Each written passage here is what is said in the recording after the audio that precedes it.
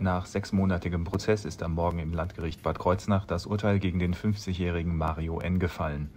Er hat im September des vergangenen Jahres in einer Tankstelle in Ida-Oberstein den 20-jährigen Alex W. nach einem Streit um die Corona-Maskenpflicht aus nächster Nähe in den Kopf geschossen.